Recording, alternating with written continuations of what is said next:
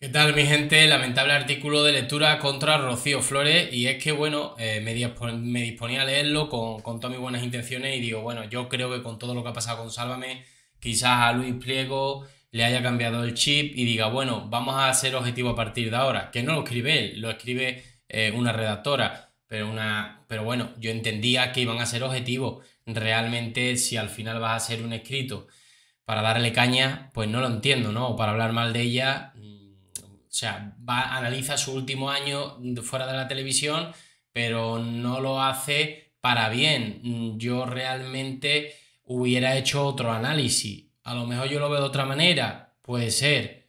La vida es, subjetiva, es decir, lo que uno ve en blanco yo lo veo negro, o lo que otro lo ve en gris, otro lo ve en rojo, en, fin, ya sabe que para gusto los colores. Eso sí, no sin antes eh, de comenzar, por favor, que reventemos ese botoncito de las suscripciones, de los likes y de la campanita para que os lleguen los avisos de los vídeos, de los directos. Y vamos allá, porque en un principio empiezan muy bien, diciendo, hablando de ella, en un principio muy bien y tal y cual, pero ya luego se van revesando un poquito, ¿no? Así que ya veréis. Rocío Flores, un año de su eh, polémica salida de televisión. ¿Cómo se gana ahora la vida? Hace un año que Rocío Flores salió de televisión, ahora vuelve a la vida pública y habla de cómo le va en el terreno laboral Además anuncia importantes cambios en su vida. Vale, hasta aquí de acuerdo, parece ser que todo va bien, que van a hablar, que no, se van, que, no van a dar caña, ¿no? Digo, bueno, un artículo limpio, vamos a ver si es verdad. Laboralmente estoy muy bien. La Rocío Flores Carrasco acudía al evento de una marca de Ginebra junto a su sobrina Gloria Camila con ganas de avanzar a la prensa que está preparando un proyecto que próximamente verá la luz este lanzamiento coincide con el aniversario de su salida de eh, televisión el año pasado, cuando la joven, tras no llegar a un acuerdo económico con la productora del programa Ana Rosa, dejó de colaborar con el espacio. Primer punto en el que me tengo que parar. No fue por un acuerdo económico. El, acuerdo no fue.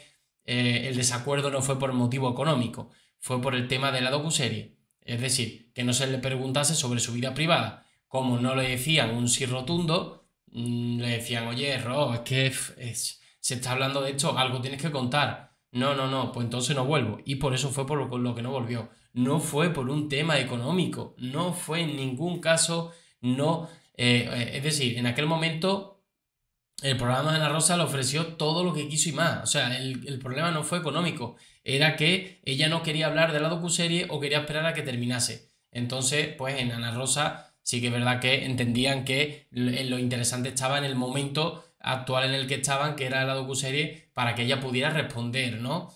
Entonces, pues no llegaron a ese acuerdo. Entiendo a la productora Ana Rosa y entiendo, por supuesto, también perfectamente a Rocío Flores, que dijo, bueno, pues si no me permitís eh, que mm, no hablar de mi vida privada y me obligáis, pues entonces yo no puedo aceptar esa cantidad ni ninguna. O sea, que es que no es una cuestión económica.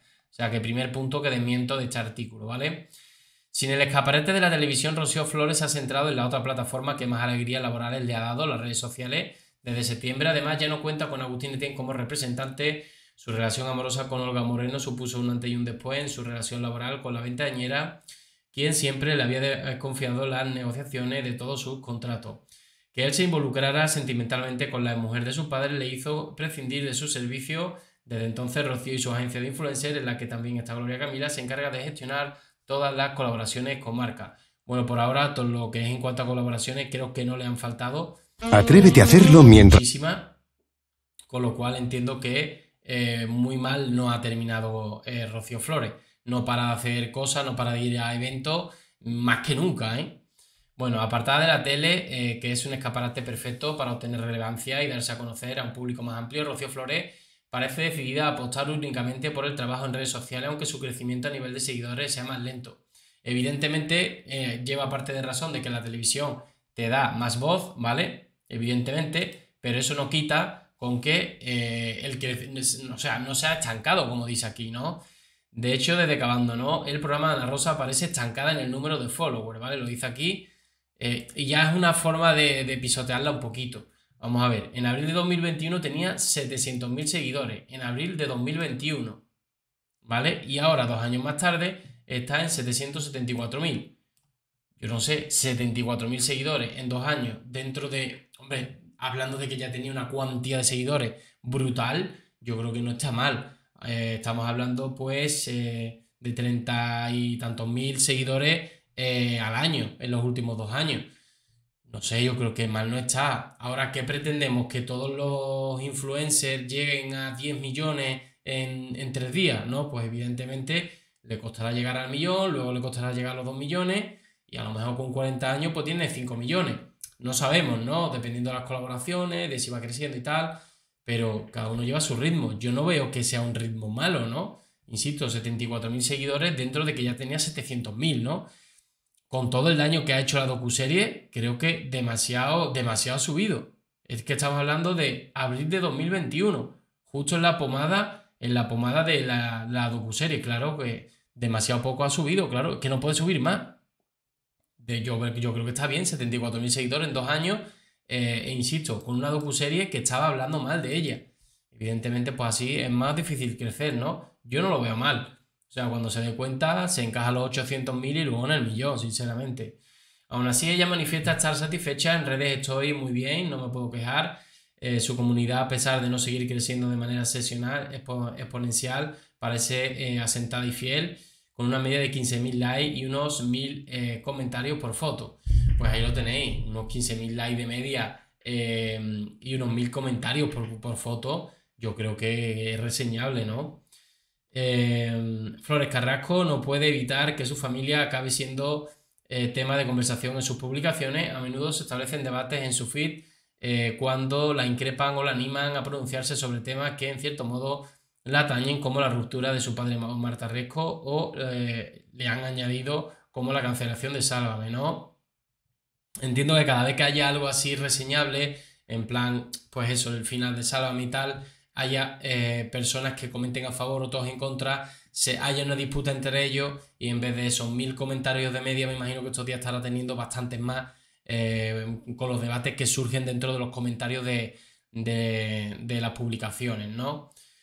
Rocío Flores de tímida veintañera influencer con potencial. Cuanto más, eh, cuando más relevancia mediática tomó fue hace tres años, había salido en Superviviente, pero hasta que no empezó a trabajar como colaboradora de televisión no había profesionalizado su Instagram. Antes tenía el perfil de cualquier joven de su edad, donde subía sus planes diarios, alguna foto mona con su novio y poco más. Tras empezar a colaborar en el programa Ana Rosa, su actual agencia de influencers se fijó en ella y la animó a pulir su estilo.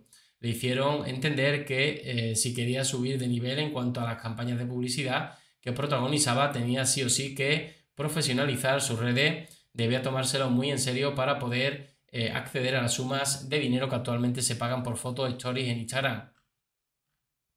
Bueno, yo creo que, eh, bueno, está, habla ahora de los sorteos estos que está, que está haciendo y demás. En fin, no me voy a alargar mucho, pero sinceramente ha habido dos o tres puntos del artículo que no me han gustado porque como que van un poquito ahí buscando la, la, puya como, o como que está haciendo algo mal. Insisto, eh, hay un documental en el cual se le hace mucho daño y evidentemente pues ahí había muchas personas que a lo mejor la seguían y luego dijeron, ay, eso lo has hecho a tu madre, ay, pues te dejo de seguir. Habrá así de gente que lo habrá dejado de seguir, o sea, que si ha subido 30.000 seguidores al año, 32.000 seguidores al año, en los últimos dos del documental, yo creo que está, está bien, sinceramente. Tiene 774.000. Cuando, ya, ya os digo, cuando se pasa un poco esta burbuja de todo lo que ha pasado, se encaja en el millón fácil. Y, bueno, ahora mismo está viviendo de esto. Y aparte tiene otro proyecto que, bueno, estamos expectantes de saber, Rocío Flores, a ver qué va a hacer con, con ese proyecto que dijo que no tenía nada que ver con, con lo público, con la televisión ni nada, así que veremos, ni con redes, me imagino que pues, será algo muy distinto, algo tienda de ropa, algo, no sé, algún negocio distinto, ¿no? Así que nada, mi gente, nos vemos en el siguiente vídeo. Un saludo.